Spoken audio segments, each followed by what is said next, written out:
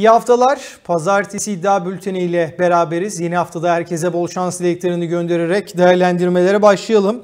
İlk mücadelemiz İtalya'dan Serie A'dan gelecek. Atalanta kendi sahasında Spal'la karşılaşacak.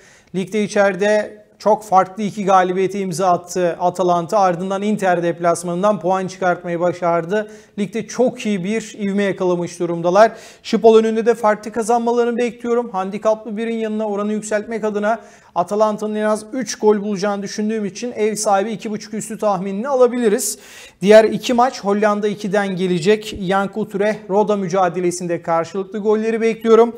Yank Ajax Dordrecht mücadelesinde ise bol gollü bir Yank Ajax galibiyet bekliyorum. Maç sonu bir 3.5 üstü, ev sahibi 3.5 gol üstü seçimlerini alabiliriz. Pazartesi iddia bülteninden bu 3 maçı kombine yapabiliriz. Bol şanslar.